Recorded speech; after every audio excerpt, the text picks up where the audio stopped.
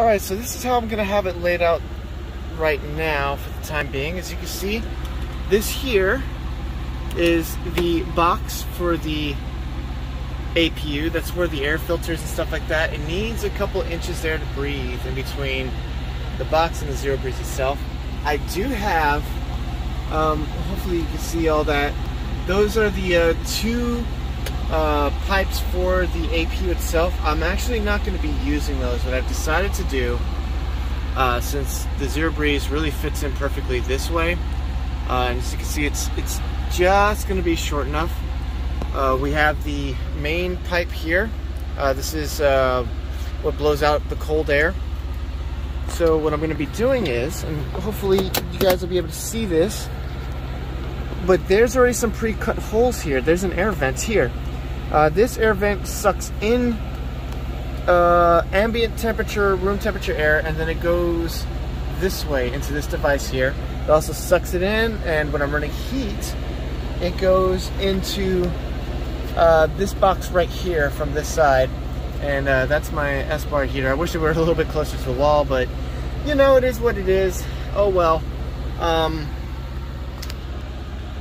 yeah, so that's how it's gonna be. I have to, I'm gonna have to cut a couple inches off this tube because it's just too big. It's too big. But uh, you know, it should fit perfectly right here, and I should be able to glue it in place. I even have plastic glue that'll work. Now the rear end, uh, it's looking like it's gonna have to go directly through that back wall, right around there. I'm gonna have to poke two four-inch holes is how it's gonna it's that's how it's gonna have to be. Uh, additionally I've done a lot of cleaning and stuff like that. I've got a tremendous amount of tools. You can hear by my feet still going through all the tools and spare parts uh, trying to clear up some space because you know I like to be prepared. Well it turns out I was a little too over prepared this time so yeah I'm gonna have to throw out some stuff. But uh, that's the update so far. I will keep you guys updated when I uh, do some shopping. So what I'm gonna have to do is also oh I forgot to mention too so these tubes are gonna have to be cut down to like right here. Okay, that's that's another thing I'm gonna have to do. Uh, there's just no way around it. I'm gonna have to cut it down. And then, so the shopping that I gotta do right now is I'm gonna have to go to the hardware store and try and find uh, a four inch, preferably metal vent so that the outside of the wall will be protected and the rain doesn't come in and I'll probably have to get some uh, chicken wire put it back there as well so the bugs stay out you know stuff like that. Um, so I'm gonna have to do some basic shopping a little bit of hardware stuff uh, i have metal plates that I can use. Um, another thing that I can use as well is actually I could probably reuse this. So I know it sounds kind of weird but I might be able to uh, I'm definitely to use it as a template for when I drill the holes but I could put this like right here, give or take, uh, which would actually insulate the back wall, which will keep a lot of the noise out. It'll keep the heat out because once I poke a hole through there, you know, heat's gonna get in, so that'll help insulate it from heat and stuff like that. And if I need to shave it down a little bit, I can shave it down and re-glue it however I need to. Um, it's just it's just uh, light foam, so I can I can actually insulate part of the back of the wall. Uh, additionally, I've got the thinner one here that I can use as well. And again, I can chop it up. I could chop any of them up and re-glue them back together the way I need to to insulate whatever part of the wall that I poke through, uh, which will keep the sound down. And since it's going to be so incredibly short, the tubes, uh, it means that there's going to be less sound coming through that back of the wall as well. So this might actually work quite, quite nicely if I'm being honest with you. And uh, insulating the tubes, these tubes, uh, by putting the foam around them, will uh, actually hopefully make it a little bit more efficient. Because when it's blowing out heat through the back, um, that heat actually has a chance to get into the whole rest of the cab or this bottom bunk area. So that little bit of foam around it should make it a whole lot better, and I won't have to wrap it or anything like that. Because uh, that was my idea was that I'm gonna I was gonna grab some blankets like uh, blankets, a thick blanket or like a really thick towel and wrap it around the tube to try and keep it a little bit quiet. Because the thing that I noticed when I was using it, uh, it just in the window is that when I cracked the window open, it was definitely making a very audible sound uh, a lot, and not, not that the unit itself was making any sound. The unit itself is quite quiet. It was all the sound from the outside was coming in. So that was kind of a problem for me because I like it being quiet. And, you know, truck stops, they're loud. I get it. That's just part of the job. I'm not complaining about that. But if I can make an improvement, then I'm going to.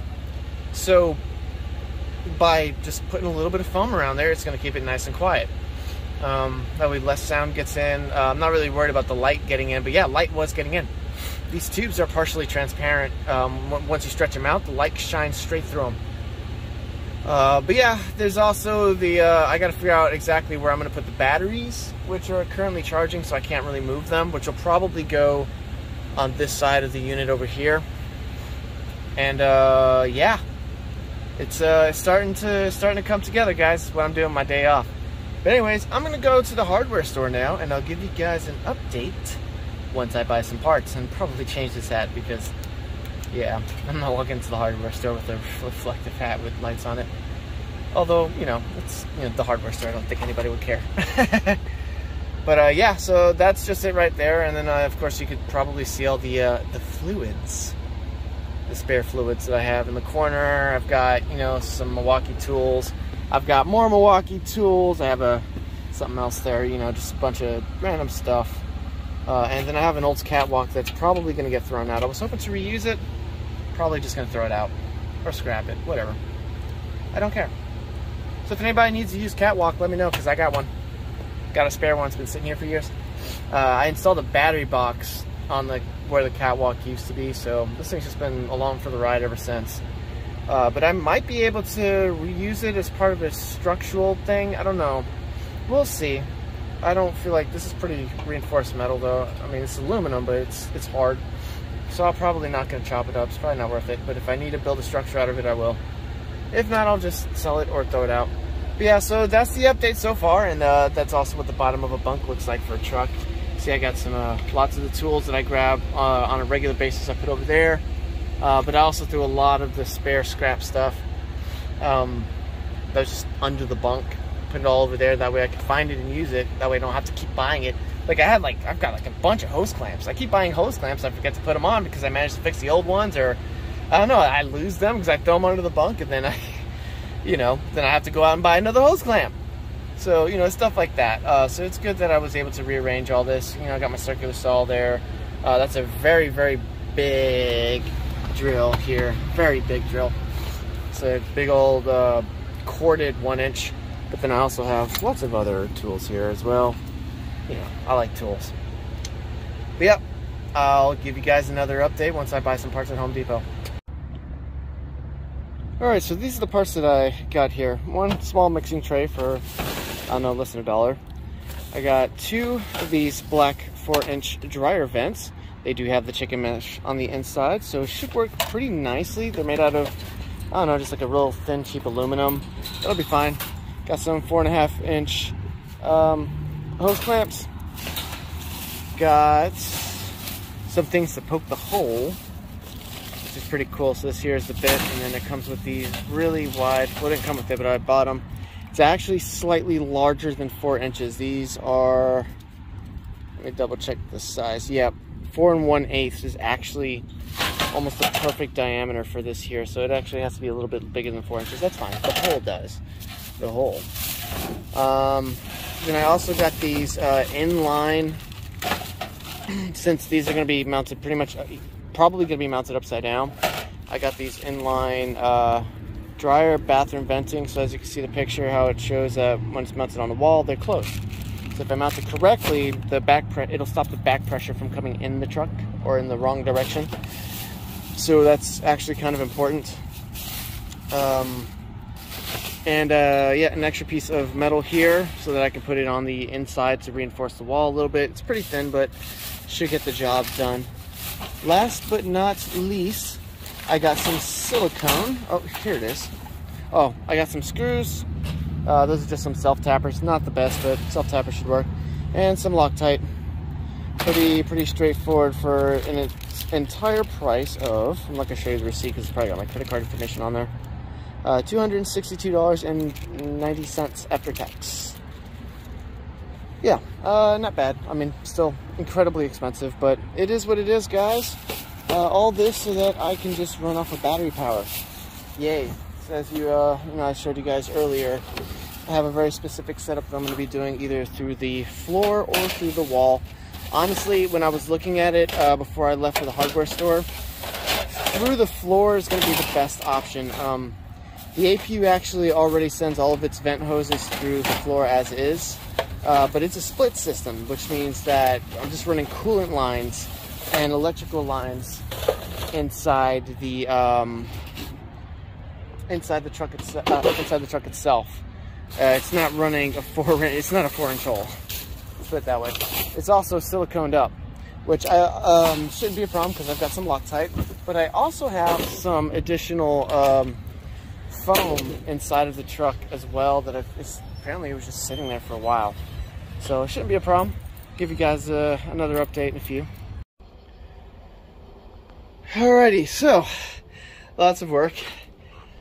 I uh, don't know if you guys are gonna be able to see this. It's kind of dark, but uh, I put some uh, dryer vents, four inch dryer vents on the bottom of my truck which uh, I'll have to spring load the uh, I'll have to spring load the uh, little lids that are on the inside there. The ones that I was talking about I use the Loctite to uh, get it in there. It's, I literally just did it so it's not set yet. Uh, tell you what it's uh, very very stressful to drill out these drill out some holes. Actually these aren't even the holes from the truck hold on. Yeah bring in the light here so you guys can see. Yeah, that's the that's the was the bottom of my truck. Talk about stressful.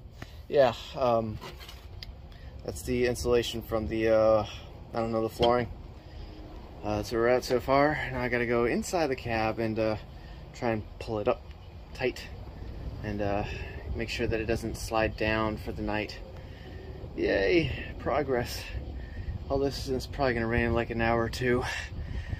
Uh, tell you what, it's a lot of work. It's actually kind of hard to drill up there, but a four and something something quarter, it's a little bit bigger than four inches. But uh, yeah, I just used uh, just the Milwaukee M12.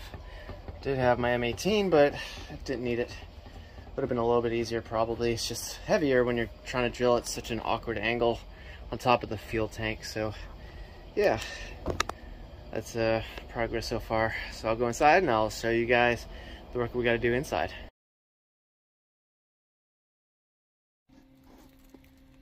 All right, so now we're back inside.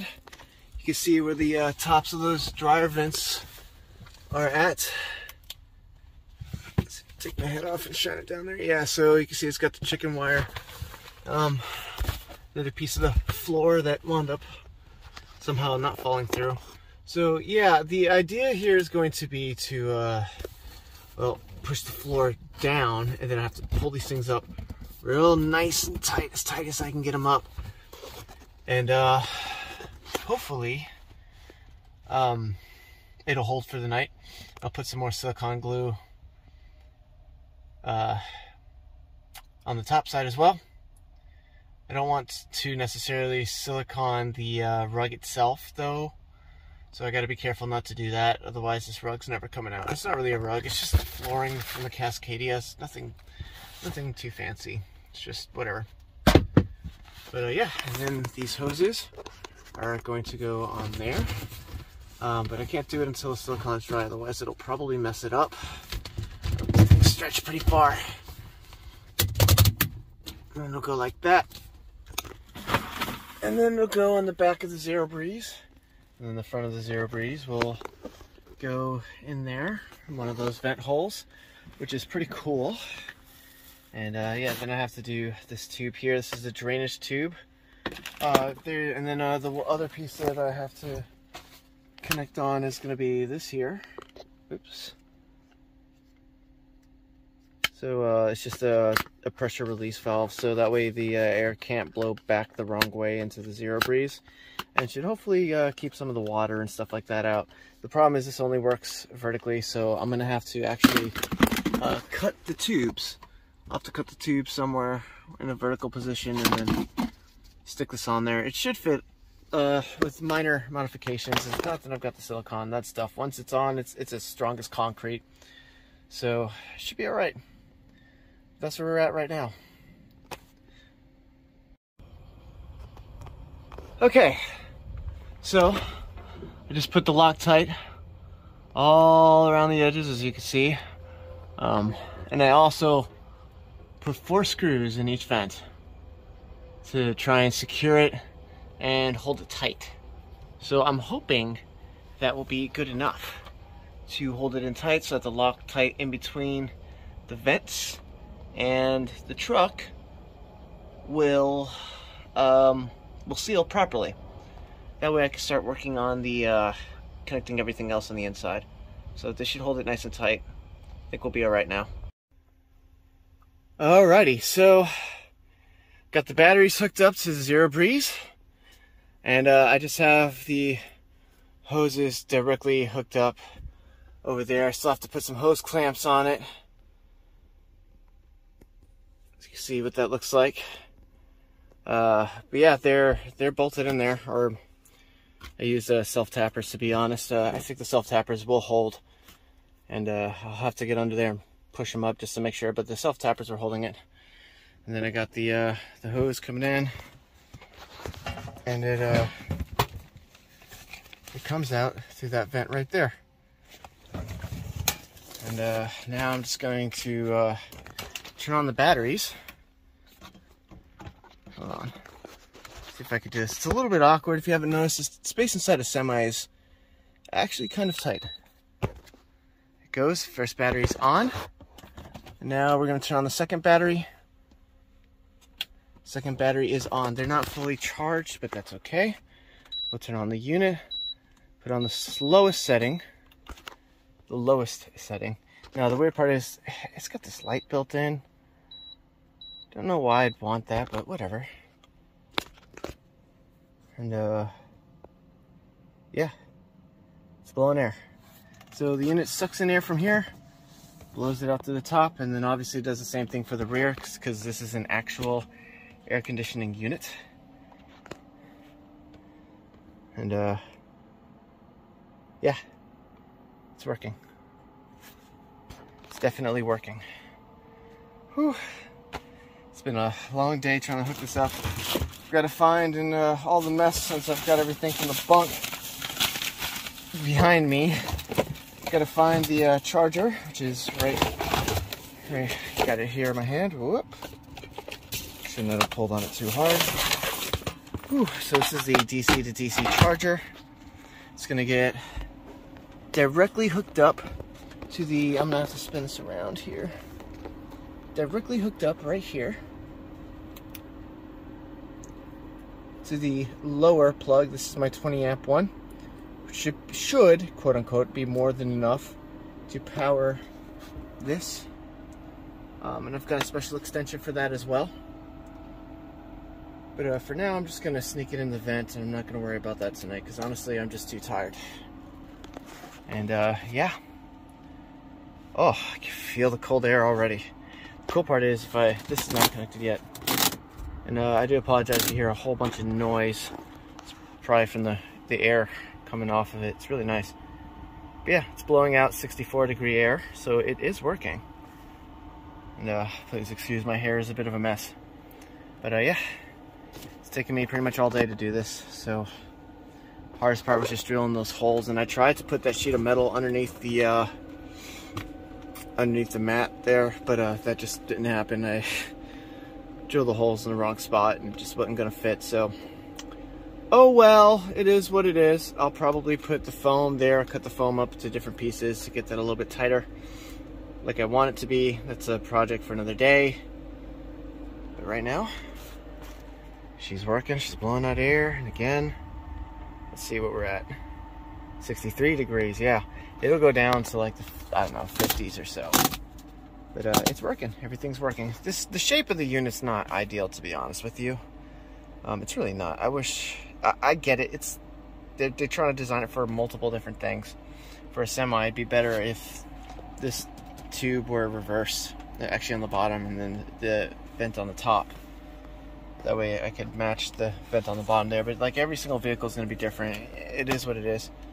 Uh, the APU, you know, it just it goes into that cabinet, which then goes up here, which then goes blows out the top over there, and you know it's specifically designed for the truck. And uh, this was not necessarily specifically designed for a truck, but it works, and it's literally running off of these two batteries right now. So, yay! I'm just gonna button everything up and throw everything underneath the bunk, or it gets thrown out if I don't need it anymore, and be done for the night. Okay, so the last update for tonight is that I've got the vent tube, uh, drain tube installed. Uh, funny story, I was actually going to put the, uh, the big tubes in that spot, but uh, yeah, that wasn't going to happen. So now I've got the small vent tube since I had already poked a, poked a hole there and I just got to silicone it up. That's it. I mean, it's done. I've got the Zero Breeze in car mode. I'll be lifting up the front end a little bit, uh, just in case if I get on an angle or something like that. Uh, currently idling the truck because my APU decided to stop working in the middle of all this. Yeah, so it's a good thing I got the Zero Breeze now. Yay, this is gonna be a while before I can get that fixed. Uh, but yeah, she's pretty much installed. All I have to do is just uh, hardwire it uh, the electric on the back like I was talking about earlier and the little vent tube just gotta get silicone and uh, probably that's gonna get silicone and then I gotta put the uh, the thingies in the middle which I can't even find anymore. I don't know where they went but uh, it's just to uh, stop the back pressure uh, from flowing in the inlet. So the cool part is now that it's been running for a minute if I touch this hose here it's just normal outside air temperature. If I touch this one here not down the bottom it's actually a bit warmer. So I can, there's a notable difference between the two. So that's pretty cool. It's working. It's in car mode again. Uh, the charger for it is sitting right there. Just kind of chilling on top of my bunk heater, so I can't, I probably can't keep it there permanently. Um, but yeah, I mean, it's working. It's got just enough space to breathe there, so it is exposed. bottom half is kind of up against the bunk heater, so I might scoot it back just a little bit. Uh, I had to move it over slightly because I cut the vent tube a little too short. Yikes. Uh, so yeah, but also it also needs space uh, in the front there for the APU as well, and that's the air filter for the APU. So that's okay that I had to move it over a bit. Uh, not a problem. And then uh, I've got to. Uh, this is just kind of sitting there. So professional YouTuber. Um, it's just sitting there, so I'll probably have to secure that doesn't really have anything to secure it to. Uh, just another thing I got to work on, and uh, just got to get all the tools back in there so that I can get to bed tonight. That's about it for tonight, and uh, you know, I'll keep filming this so that uh, y'all can see the rest of it and just smash it all up into one video. But uh, yeah, it's it's working. Uh, I'm happy. it's definitely worth it.